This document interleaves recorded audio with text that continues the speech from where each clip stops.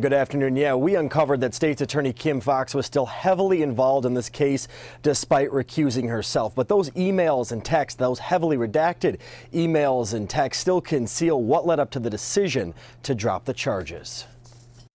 As Jussie Smollett went from victim to suspect, State's Attorney Kim Foxx recused herself after exchanging texts with a relative of Smollett's early on.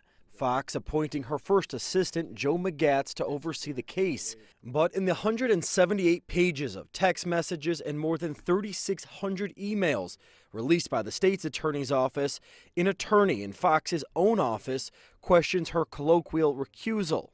She cannot simply direct someone, even the first assistant, to act in her stead. Even though Foxx cited a potential conflict and was supposed to keep her distance, Foxx sent texts revealing that she was very much involved, even referring to the charges against Smollett as excessive.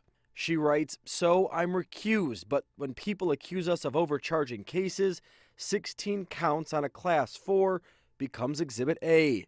Foxx explaining her actions in a statement. After the indictment became public, I reached out to Joe to discuss reviewing office policies to assure consistencies in our charging.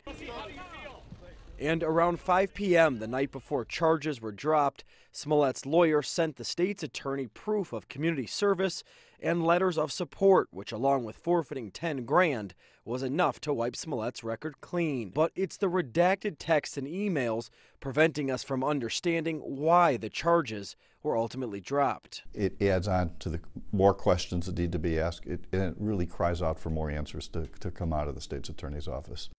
Now, the state's attorney's office saying those redactions to the texts and emails were to protect anything that had to do with the deliberative process. Live in the control room tonight, Charlie DeMar, CBS 2 News.